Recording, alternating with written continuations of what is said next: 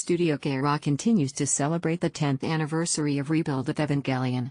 Next month, it's rolling out two big deal events for fans a new art book and a live talk show event. Evangelion Illustrations 2007 to 2017 will feature art from across the decade that Rebuild has been out, including promotional work, posters, and new art. All told, this will total up to more than 600 pieces. Additionally, fans will have the opportunity to sit in on an evening of reminiscences next month. The Evangelion 10th Anniversary Furikaeru Night will feature confirmed appearances from the film's marketing department. There will be more guests beyond that, it seems, but who exactly they are is a surprise.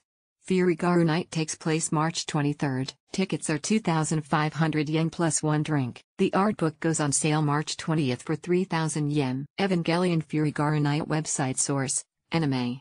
Anime. Kara Dennison is responsible for multiple webcomics, serves as community manager for Regeneration Who and Potterverse, and is half the creative team behind the OL light novel series Owl's Flower. She blogs at karadennison.com and tweets at RubyCosmos.